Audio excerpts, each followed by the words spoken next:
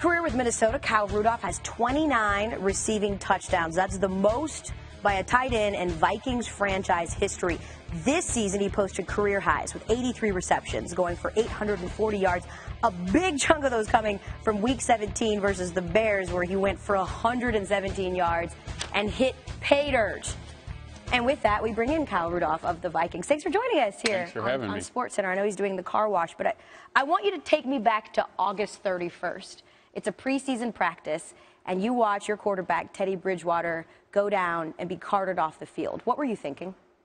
You know, that was a tough day. Uh, our last preseason practice, like you mentioned, we weren't even playing in the preseason game that Thursday. Our preseason work was pretty much all and done. Uh, we were just going out to get some work in, and the second play of practice, Teddy goes down, uh, untouched, taking a drop that he's done millions of times in his life, and uh, it was it was heartbreaking. You know, when you see uh, the pain in his eyes, the frustration.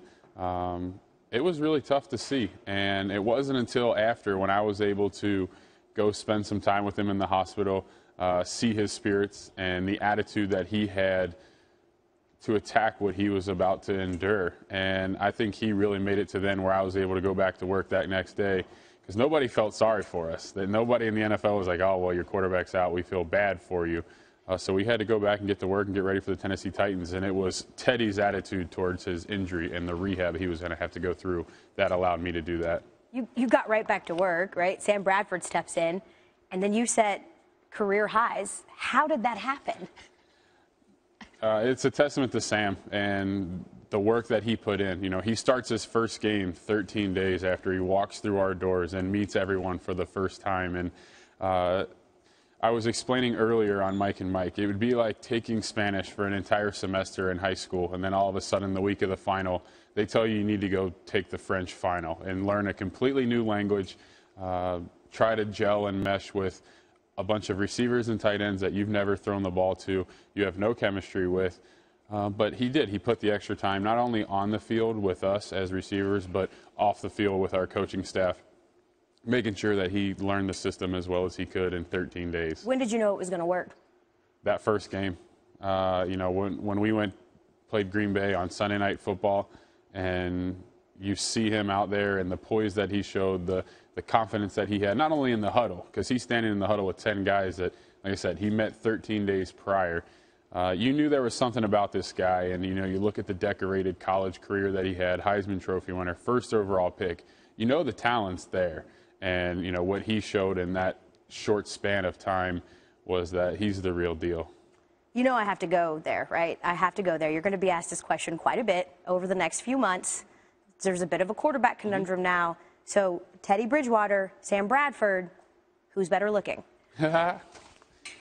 Oh, I, I can't, I, I can't, I can't win answering that question. Um, You'd prefer to answer the other one? Which one do you want to go with? no, they, uh, they're both phenomenal. Not only football players, but leaders in our locker room and, and good guys to be around. So uh, it's a good problem to have when you have more than one. I, I, make light of it, but can we just can, can we just look at all the things that happened to your team? I know you're well aware. The thing is, it takes up an entire screen. All the things that happened to you.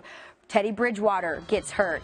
Adrian Peterson gets hurt. Your offensive coordinator, Norv Turner, resigns. Your kicker, Blair Walsh, gets cut. And then your coach doesn't have an eye. He has an eye, but he has to miss a Yes. game because of surgery. What do you guys say to each other when Lady Luck has just abandoned you? You know, you go through a season, and I've been asked, you know, how do you describe what happened to you this season? And it's, I say it every time, it's something unlike I've ever seen in any sports. Um, the amount of adversity that we had to go through throughout the course of this season, uh, you go back and you reflect afterwards, and we still won eight games. And although eight games is not our goal, and eight games is not where we want to be at the end of the season, there were opportunities for us to still win 10, 11 games, be back in the playoffs where we were the year before. Uh, you know, we just didn't execute in some critical situations, uh, late in fourth quarter, overtime losses. So you, that's a testament to our team, to the guys in our locker room. Uh, not only the talent that's there, but the high character guys that we have. That no matter what happens to us, the amount of adversity that we go through, uh, each and every Sunday, we feel like we can go out, no matter who we play, where we play, that we think we can win the game. All right, Kyle. While the folks in Minnesota are well aware of who you are and, and, and also in South Bend as well, Notre Dame alum, we're going to get to know you a little bit here. All right, so I'm going to do rapid fire. All right. I'm going to just fire questions at you. First thing that comes to your mind, that's what you go with. And we'll start with something very easy. You ready? Yeah. Favorite reindeer? Rudolph, that's easy. Uh, yeah, I thought so. Last big purchase you made? Oh, last big purchase I made, probably all my wife's Christmas presents. Ooh, and what did they include? Oh, lots of shoes. Nice. Um, some jewelry. Uh, and then now with the twin girls, uh, you know, I always like to get her something that is kind of in coordinates with them, you know, stuff with their name on it, things like that. All right, last big purchase you regret? Oh, uh, last big purchase I regret. Probably my boat. So I bought a boat this past summer. And I say I regret it because I waited too long. I didn't get to enjoy it all summer. I waited till the end of summer. And then, obviously, in Minnesota, we go to training camp in July. You don't get to enjoy the best month of summer. So I regret not buying it sooner. All right, uh, you just mentioned that you had twins. Biggest challenge with having twin girls? Oh, I don't think I've come to that challenge yet. I think that challenge will be 14, 16 years down the road um, because so far to this point they've been awesome. They're great babies. Yeah, when the boys start knocking on the door. I'm not worried about the boys. Oh, I'll, no? I'll take care of the boys. Ooh, is that right? Fighting words. I like it. Uh, I just mentioned you went to Notre Dame. So, you're in a battle.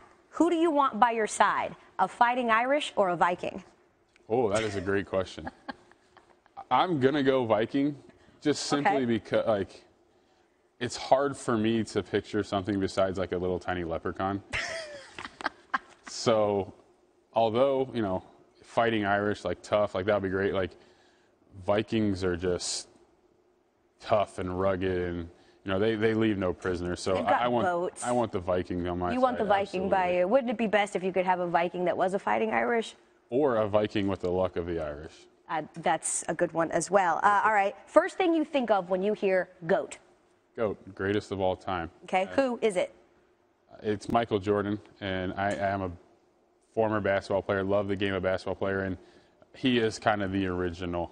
Uh, now it gets thrown around quite a bit, uh, but most of the time it's it's always deserving. One on one, who wins? You or Mike Golic Jr.? Oh, I got that one. You got easily. He wouldn't contest that either. All right. Let's look at your position. Tony Gonzalez or Gronk? Tony Gonzalez. Why? Uh, the span of work that he was able to put together over 17 years is unlike anyone ever at our position. Uh, to be not only on the list of tight ends, but if you put him on the list of receivers, uh, he's right up there behind only Jerry Rice. And uh, that's pretty impressive for a tight end. And lastly, what are you known for amongst your friends and family? Uh, amongst my friends and family, I think the thing that drives them most crazy is uh, most things seem to come easy to me, whether it's sports or, you know, golf, boating, surfing, things like that. I seem to pick up on things quickly. And the running joke in college was always like, what aren't you good at? Like, come on, like, let's find something that. So then they put me on ice skates this season during uh, you know, a promo we were doing with the Minnesota Wild. And I saw it. we found something that I cannot do, and that is ice skate. That is annoying. People that are really, really good. I do want to make mention of your fashion choice. You look fantastic. Thank you. But are you really that weather battle tested that you don't need to wear socks in the winter, Kyle? Always. These So- shoes are way too comfortable to I was saying, you do know with. when you walk outside, you are going to have snow on your foot, and that is okay with you. Yeah, I mean, we're, it's like in the 30s here. This, if is I was nothing. in Minnesota, we'd have shorts and t-shirts on. This is summer weather for you. Absolutely. Kyle Rudolph of the Minnesota Vikings, thank you for taking some time with us, playing along. Enjoy the rest of your car wash.